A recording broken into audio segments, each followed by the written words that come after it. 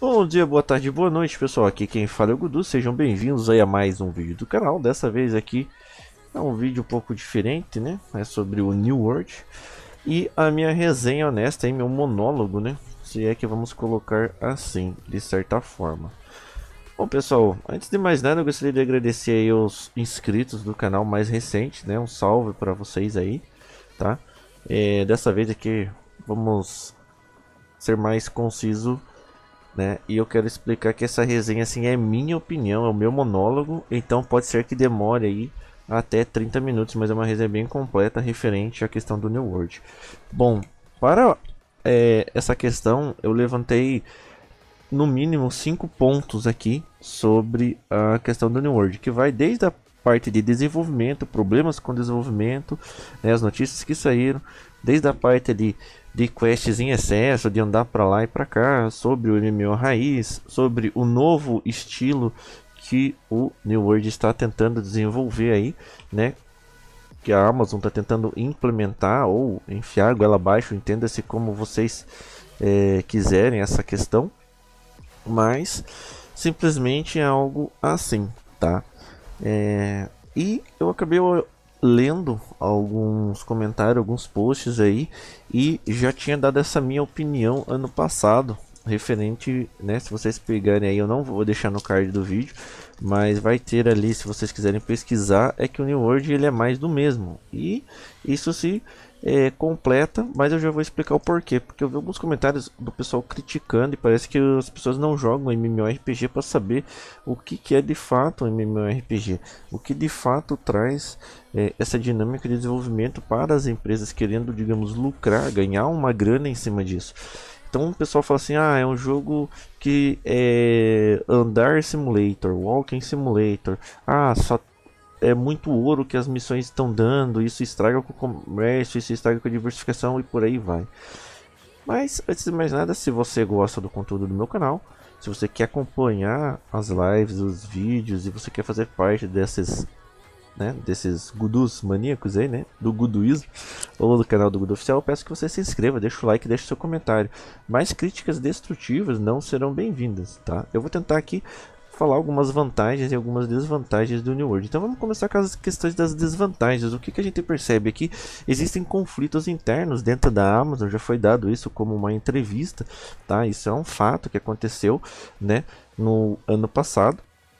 Não tem como as pessoas negarem que isso não tenha acontecido porque isso aconteceu. Então seria meio hipocrisia você falar assim: ah, a Amazon ela quer um jogo para os brasileiros, ela quer um jogo para os americanos, para os europeus e para os asiáticos. Cara, não, ela quer um dinheiro, isso é fato. Ah, mas a textura do jogo é ruim, mas a dinâmica do jogo é falha. Ah, o, o New World ele é inovador. Bom, se você parar para pensar, é, tudo que você faz aqui na questão do New World, a, até o próprio mapa aqui que o pessoal já está reclamando, falando, poxa, o mapa do New World é muito pequeno, é só essa região aqui. Gente, vai ter mais coisa se você arrasta, né? Aqui o mapa você vê, ó, que aqui nessa lateralização pode vir ilhas para essa parte aqui, ó. Entendeu? Podem vir mais espaço para cá, mais território aqui para implementar. Ah, mas é que não tem montaria, o jogo é chato, o jogo fica difícil. Naquela época tinha montaria, tinha carruagem, tinha carroça. Isso está muito zoado, isso está muito ruim, porque todo mundo pode ser tudo, pode ter várias é, dinâmicas, todo mundo pode ter é, várias profissões, isso é muito errado e etc. Cara, vocês já jogaram Lineage? Vocês já jogaram Terra Online? Vocês já jogaram Tibia? Você pode fazer o que quiser no MMORPG. Ou seja, isso comprova que o New World é um MMORPG raiz. É difícil de upar, é difícil de craftar, você tem muita coisa para fazer. Eles estão tentando é, melhorar essas questões, sabe? Coisas que você não tinha antigamente. Ah, mas falta um minimapa. Pois é, faltou um minimapa. A gente está acostumado com aquele minimapa do lado esquerdo ou do lado direito, ou até você mexer na HUD, né? Na interface é, visual ali, onde você quer colocar é, um chat onde você quer colocar suas skills, você não consegue de fato mexer né, aqui na, na parte dos menus, é sempre no mesmo lugar, sempre estático. Já no Terra Online você podia mexer. No BD eu acho que você também pode mexer um pouco. E, então você pensa assim, poxa, o New World tem essa falha, é gritante isso. Ah, Mas isso também me incomoda, não me incomoda. E aí, vai fazer o que, né? O que você vai fazer? Você vai xingar, você vai, tipo, vai criticar o jogo por conta disso. Cara, não vale a pena. Ah, mas ele tem pouco roleplay. Eu, eu, eu, gostaria de ler mais, né? Cara, olha o tanto de capítulos que tem aqui se você quiser fazer roleplay. Quando eu lançar o jogo, eu pretendo tipo, ler as páginas né, desconhecidas para tentar entender um pouco da história, seguir e o jogo tá dublado. Então as pessoas até reclamam dessas questões. Aí você pensa assim, cara, eles fizeram português Brasil. Olha o empenho que a Amazon teve que pagar para um dublador, né? Dublar e deixar em PTBR entendeu? E daí, tipo, as pessoas falam, pô, cara, será que tem alguma história aqui entretida? Claro que deve ter, só que o jogo, tipo, para um jogo que tá há 5 anos, 6 anos, né, em desenvolvimento, é pouco? Claro que é, mas é um jogo que você ia caçar índios em vez de ser corrompidos. É um jogo que ia ser tipo racista de certa forma. Só que é uma proposta diferente. Porque assim, eu penso, pô, se você tem uma temática que você mata índio, beleza, porque você tem o Red Dead. O, o Red. O Red, Red, é Red Redemption. Nossa, cara, é Red Dead, Red Dead Redemption 1 e 2. E lá é no Velho Oeste. E você tem missões que você mata índio, tem missões que você joga a favor do lado dos índios. E não é discriminatório. Só que aqui você ia ser só um colonizador tentando dominar a terra e você ia ficar lutando freneticamente contra os índios. Acabaria que geraria problema. Né? Mas, enfim. Aí o pessoal fala, ah, mas tem que andar muito. Cara, todo MMO, desde o Tibia, você anda demais, só que aqui você não ganha velocidade enquanto anda. É diferente, digamos, ali do Terra Online. No Terra Online acho que você não tem nem montaria, tudo a pé, cara, é um saco. Entendeu? Ficar andando para lá e para cá no Terra Online. Só que as missões aqui, elas não são gradativas. Por exemplo, eu pego uma missão principal, eu tenho que vir aqui para a cidade de Queda Eterna, né? Eu saí do Falésias do Monarca, vou para Queda Eterna, de Queda Eterna. Eu venho aqui para baixo, né, na, no guarda-ventos, falar com o pescador. Aí depois eu volto para queda eterna, mas aqui eles colocaram teleporte. Beleza, gasta azote? Ok, gasta azote, paciência. Ah, mas como que eu consigo azote e tal? Cara, matando monstro e fazendo as missões. Só que não é gradativo, entendeu? Então o pessoal tá criticando muito as quests e eu até concordo nesse aspecto, porque assim, todo MMORPG raiz, você digamos, nasce aqui no mapa aqui embaixo e você vai conhecendo o mapa através de missão. Ou seja, você pega uma missão aqui, você entrega para o NPC daqui. Pegou outra missão aqui, você entrega para o NPC aqui. Entendeu? Então você vai preenchendo e vai indo para cima. Só que o que, que acontece? O New World, isso é refutável, essa questão, porque é fácil de você defender isso, porque sem assim, New World você tem que dominar territórios. Então você tem uma missão aqui, aí te manda a missão manda você para águas fétidas. Aí de águas fétidas, você tem que voltar para guarda-ventos. De guarda-ventos, você vai para Cadeter. Então você conhece todo o mapa de Cadeter, conhece todo o mapa de guarda-ventos, conhece todo o mapa de Falésias do Monarca, conhece todo o mapa de Primeira Luz, conhece todo o mapa de água, né? E você vai conhecendo todo o mapa. Ah, mas é chato, cara. Então não faz missão. Porque quests, desde a época do Tibia, cara, elas são muito chatas. São muito.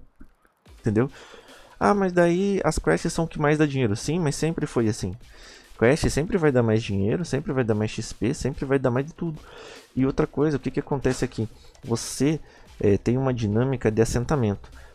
Me digam aí vocês, que tipo de dinâmica, se vocês forem os desenvolvedores, né, eu tenho uma ideia aqui que eu vou falar agora, o que, que vocês colocariam de um modo mais superficial e mais genérico? Talvez vocês concordem comigo, outros não, mas você precisa de token de facção, certo? Então você vai fazer uma missão de facção e vai ganhar, né, token de facção para você poder gastar e comprar itens de facção.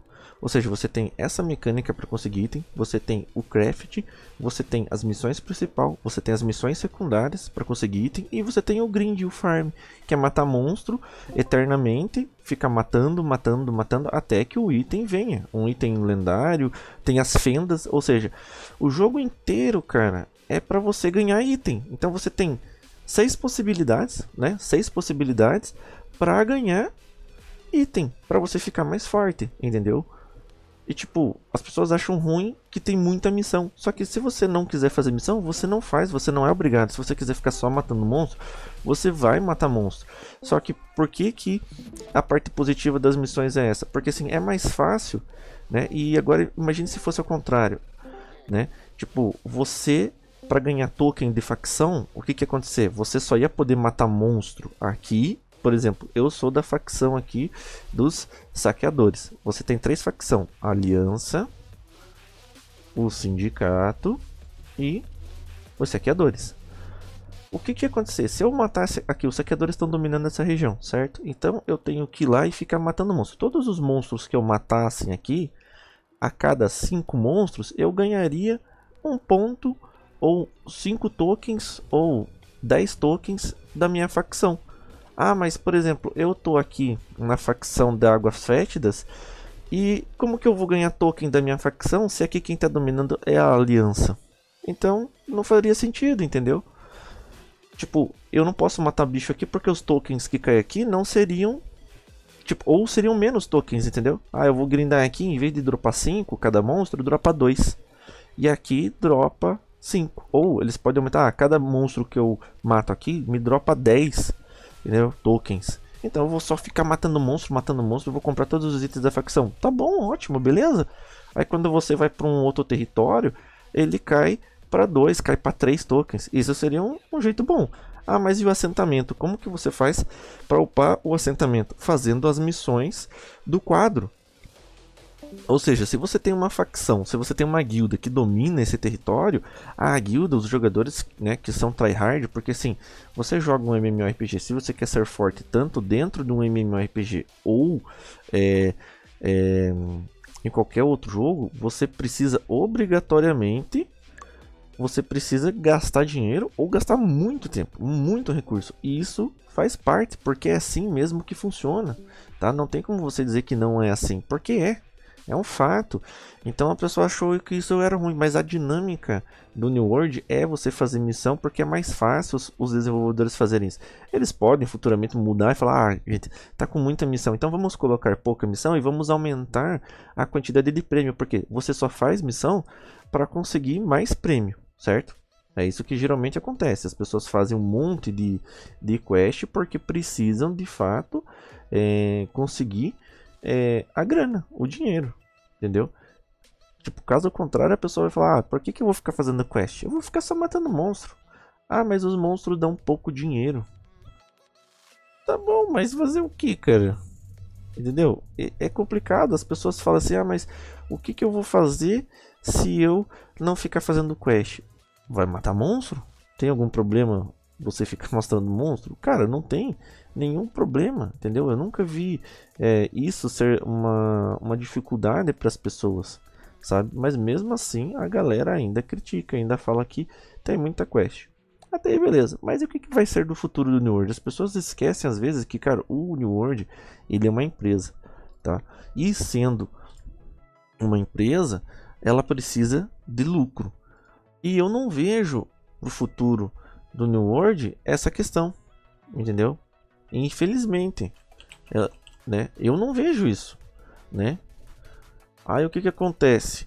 É, ela simplesmente, tipo, vai tirar dinheiro da onde? Entendeu? É isso que eu fico pensando, cara. Tipo, da onde que... Da onde? Né? Ela vai tirar dinheiro, né? Não tem como, entendeu? Então, às vezes o pessoal pensa de um jeito muito esdrúxulo, mas fazer o que, cara? Faz parte, entendeu? Pelo menos na minha humilde opinião. Agora, se vocês não concordam comigo, tá tranquilo, né? Mas vamos esperar. Ah, mas o sistema de craft. Cara, o craft, ele, de certa forma, né? Que também criticaram isso. Falaram assim, ah, é muito chato, é muito ruim você craftar o item. Cara, e é difícil. Ah, mas eu achei bem fácil. Claro, você só focou fazer craft. E as pessoas no final do jogo, elas fazem três coisas. PvE, tá? De certa forma. PvP e RPG, cara. Entendeu? Todo MMORPG que se preze só tem três coisas para você fazer no final do jogo, né?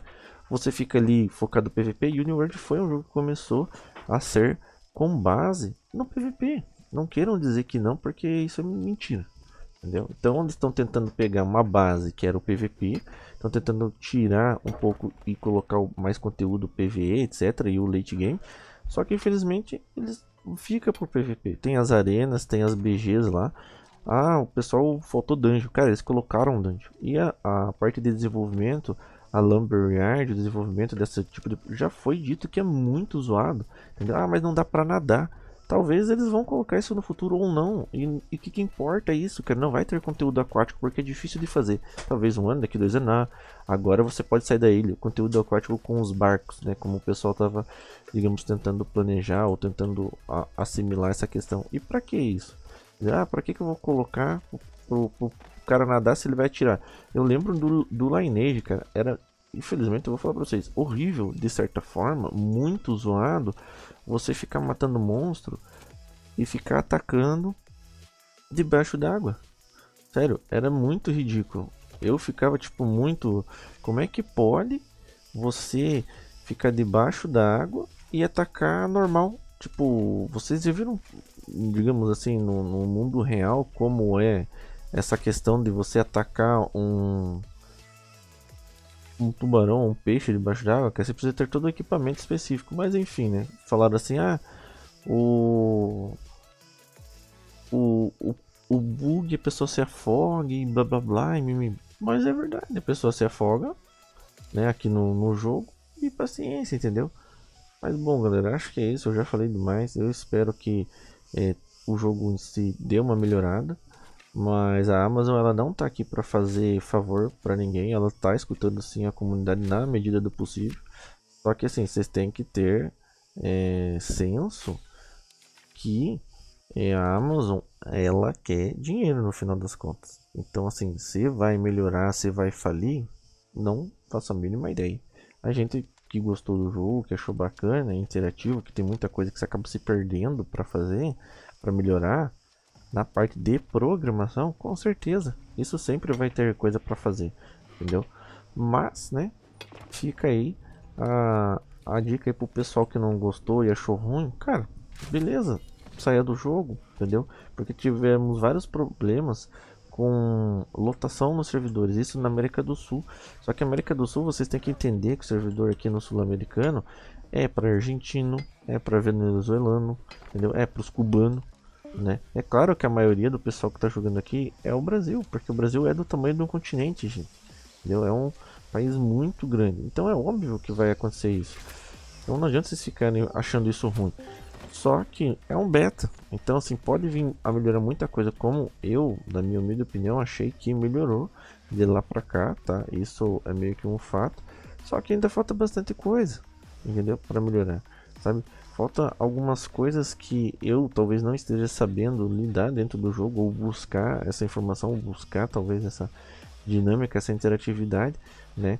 Porque às vezes você, por exemplo, aqui, ó, em vez do personagem subir e atravessar a pedra, não, ó, ele tá bugado na parede. Aí eu tenho que pular, ó. Então tem aqui, ah, entrou ali, não, não consigo mais andar, ó. mas daí eu coloco para andar automático, ele anda. Aí ele consegue pular. Tipo, é muito engraçado. Só que se eu apertar só o W pra frente, o personagem não vai. Então por que que tem essas partes físicas, né? Do jogo assim que, na minha humilde opinião, tipo, funciona de um jeito não funciona do outro. Ah, eles vão melhorar isso? Não sei. Talvez nunca melhore. Entendeu? Ó, o personagem trava aqui. Né? Coisa que não deveria. Mas eu acho assim, falta muito para melhorar. É, o pessoal quis comparar também com coisas que tinha, por exemplo, da Guerra das Facções. Ah, mas o jogo é só Guerra de Facção. O jogo não tem estratégia, o jogo não tem isso. Cara, aqui a maioria das pessoas que veio para jogar não sabe, estão descobrindo o jogo ainda e querem que o jogo esteja pronto. Ah, mas são seis anos. É, eu também acho que nessa parte aqui a Amazon vacilou. Porque assim, são seis anos para programar um jogo desse porte do New World. Então eles deveriam ter se preparado melhor. Ah, mas e se o jogo adiar? Bom, daí se o jogo adiar, talvez flop ou não, não faço a mínima ideia. Mas vida que segue paciência, galera. Não adianta vocês ficarem revoltados ou acharem algo muito ruim na medida do possível, sabe? Porque assim, a Amazon tá tentando? Tá. Mas com fila, com queda, com drop, com inconsistência e otimização, acredito que a, base não vai melhorar. Mas enfim, tem aí o Ashes of Creation chegando. Boa sorte para vocês que vão programar é, mensalidade com Ash, se vocês saírem. Ah, mas o jogo vai ficar vazio. Não tem fila, né? Não tem aquelas, aqueles channel quando você escolhe um servidor para trocar o que eu acho ruim, porque se um servidor superlotar, eles podiam ter inibido isso. Você ainda não consegue criar personagens em outro servidor ao mesmo tempo, o que é outra dificuldade, outro problema que eu achei tipo gritante, uma coisa básica que eles deveriam é, ter feito no New World, né, que é o sistema ali, ah, eu quero jogar em três servidores, quero ter um boneco nos 23 servidores. Ué, por que não? Entendeu? Não, eu tenho que ir lá no servidor principal que eu tô, deletar aquele personagem, para daí sim, né, tipo, criar o personagem e pronto. Ah, mas é, a gente criou aqui a guilda no servidor é, Tiamat ou no Tamag, depois criou aqui no servidor Celeon, mas não deu para usar o mesmo nome porque tinha que deletar a guilda lá porque estava usando o mesmo nome. Mas eles vão ter conflitos intra-servidores, a gente vai jogar contra o servidor no futuro, eles vão fazer algo instanciado, porque às vezes fica difícil você achar pessoas que querem entrar e participar de das invasões ou do outro post rush. O que eu percebo também é que eles estão tentando colocar FPS, MOBA e Grand Chess, né, dentro do sistema do New World com o seu próprio personagem. Tipo, você não consegue modificar as características do teu personagem, você não consegue tirar o teu chapéu e tipo deixar só na parte da visualização, né? A não ser que você arranque ele, né? Essa parte de aparência eu tem aqui para testar, né? Eu ainda não testei. Mas eu fico pensando, cara, e se eu não quiser usar a aparência, por exemplo, do do meu chapéu ali, do meu boné? Tem essa aparência aqui que é a loja de cash que eles falaram que não iam é, colocar cash para vender, que seria só aparência de arma, skin, que seria bem interessante, mas eu olho assim e falo, caramba, cara, um coelho que ainda tá bugado que é para casa, os itens e tudo mais. Eles estão colocando isso na medida, cada manutenção que tem. Mas, cara, olha que roupinha jaguar de feia, cara. Olha só isso. Então, assim, tem muita coisa que, tipo, pode vir a ser melhor. Você pode, tipo, trocar a cor. Eu, claro, não mexi com isso ainda, nem sei como é que faz. Mas tem várias coisas que o jogo pode vir a agregar e outras nem tanto. Entendeu? Mas acho que na medida do possível, né, eles vão tentar fazer essa essa questão aí e vamos ver o que vai dar, né? Detalhe pau, aqui as sombras, terreno, textura, detalhe da água. Enfim, a gente só espera que funcione e dê certo. E de novo, paciência, galera. Beleza? E a vida que segue, né? Então é isso. Vocês gostaram do, do vídeo? Gostaram da, da resenha? Faltou alguma coisa? Comentem nos comentários, porque talvez tenha faltado, mas essa é uma é a proposta do World. Ele não vai ser o jogo perfeito, não vai ser o jogo horrível, né? Vai simplesmente ser um jogo com o estilo dele, algo que eles estão tentando criar só próprio, né? Se eles vão acertar ou não, eu acredito que só o tempo vai dizer. Mas assim, não fiquem surpresos se o jogo daqui seis meses, um ano, for a falência, né? Justamente por conta do histórico que o New World tem. Entendeu? O New World ele tem um histórico muito ruim com esse embasamento aí. Porque o não, a Amazon, né? Ela já desistiu de três ou quatro jogos, se não me falha a memória. Então isso é bastante coisa. Né? Se você começa faz o pessoal comprar o jogo e abandona e, na, e nada leva a me crer que eles podem vir a deixar o jogo é, free, entendeu? Tipo, você baixa, joga. Hoje em dia o jogo não é free, vocês sabem que vocês têm que comprar o game, né? Porque ele não é gratuito. E pode vir a ser que no futuro longínquo, daqui um ano ou oito meses, o que vai depender ali do marketing do próprio World, que ele venha a ser gratuito para todo mundo. Então todo mundo vai poder jogar, usufruir, seja você ter um computador bom ou não, né? Não vai importar isso, né? Porque se vocês pararem para pensar, o BDO foi remasterizado, o Terra foi remasterizado, só que a base do motor gráfico do Engine, né, construída aqui é na Cry Engine, né? Eles estão desenvolvendo a Lumberyard com base na Cry Engine, que é uma engine que não funciona para MMORPG. E todo mundo sabe que dependendo do motor gráfico que você usa, ele não vai funcionar. Isso é um fato. O pessoal fala muito que tipo, ah, como é que a gente vai desenvolver um jogo sendo que tem o traço de luz, sendo que a questão do FPS é zoada, né, sendo que a otimização não funciona.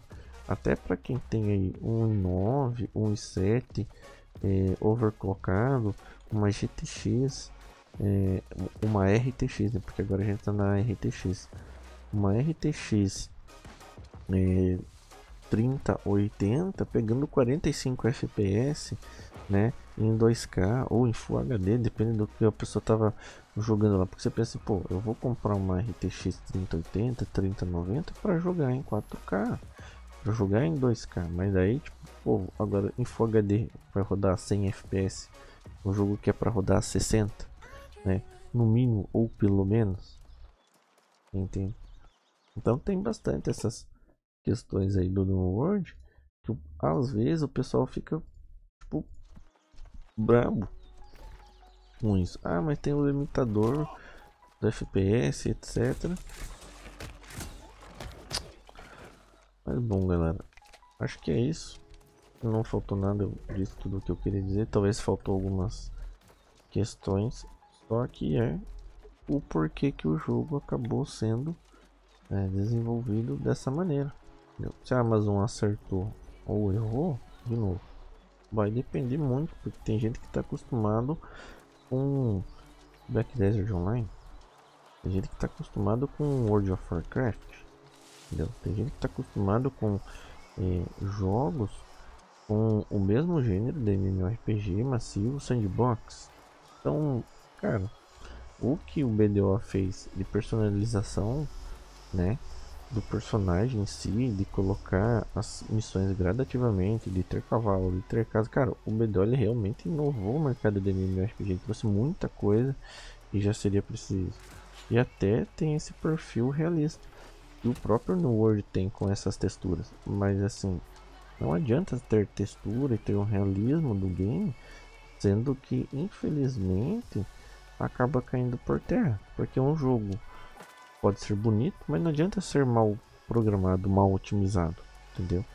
Porque assim, quem gostou e quem tava é, querendo algo que não seja World of Warcraft, que não seja mais o mesmo do mesmo por anos, e assim, eu acredito que é, por mais que World of Warcraft seja o próprio World of Warcraft, agora eles remasterizaram, daí voltaram pro World of Warcraft clássico e tudo mais, o pessoal não, não curte. E outra, para finalizar o vídeo, seres humanos são o pior produto para se trabalhar. Você nunca vai conseguir agradar, entendeu? 90% dos jogadores, entende? Então é muito difícil você trabalhar com esse produto porque existem pessoas que criticam sem conhecer, sem jogar, mas é, existem pessoas que simplesmente são cegas e estão no hype, estão com aquela expectativa mais assertiva. Então assim, Testa o New World, pegue quem gostou, gostou, quem não gostou, paciência, né? Dá para fazer muita coisa dentro do, do game se você tiver um computador bom, né? Na medida do possível. Se você tiver tempo, se você tiver uma dinâmica é, interessante e bacana com seus amigos também, ou simplesmente você falar, ah, para mim não, não valeu a pena. Fizeram Falaram, falaram, falaram. E desanima, porque chega um momento que tudo vira muito maçante, muita rotina. Você faz isso, faz aquilo, você fala, nossa, não rendeu. Nossa, tentei, mas não rendeu. E você fica com aquela sensação, sabe? Tipo, pô, passei a mesma coisa no Terra Online, passei a mesma coisa, sei lá, no Priston Tale, passei a mesma coisa no GTA Online, no Crysis, não sei das quantas, no RF Online, no Perfect World, etc, etc, etc, né? Mas, de novo, cada jogo tem uma dinâmica diferente. Isso faz parte, entendeu? Então, a gente meio que torce para que quem gostou do jogo melhore, né? De certa forma. E às vezes, é, tem muita gente que já jogou, outros fica comparando. Só que é fato que hoje em dia está muito melhor é, a interação e a profundidade do personagem aqui, ó. Eu lembro que o personagem meio que patinava, cara. Tipo, quando corria, era muito estranho o mapa, né? Mas hoje eu percebo que, cara, o mapinha é bem mais tranquilo. Tem uma profundidade melhor, a hitbox, né? Mas enfim, acho que é isso. Curtam, compartilhem, se inscrevam no canal e nas, nas mídias sociais na medida do possível. Fiquem com Deus, forte abraço e!